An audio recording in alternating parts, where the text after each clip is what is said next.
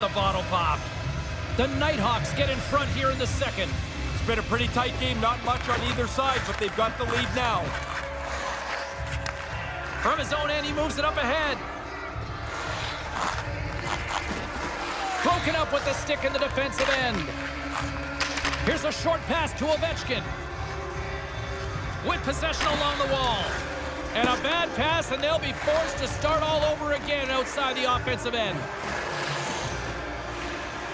Right in front of the net! Big time saving goal as he gets all of it with the stick. There's another stop! They work the puck into a scoring spot, get a pretty good chance on goal. They just can't find a way to finish it off. The Nighthawks will play it against the wall. Quick feed to Cap.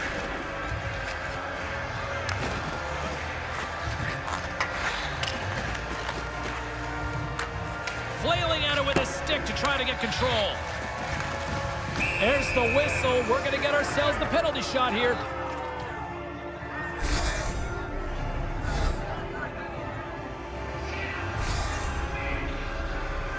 Here's his chance, one-on-one -on -one with the goalie.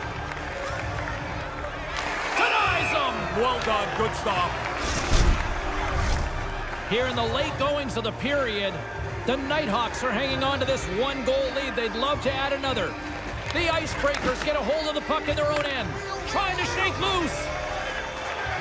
What a stop on the breakaway! And tries to make a diagonal pass to Ovechkin.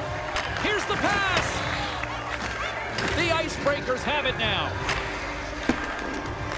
Play is called for offside.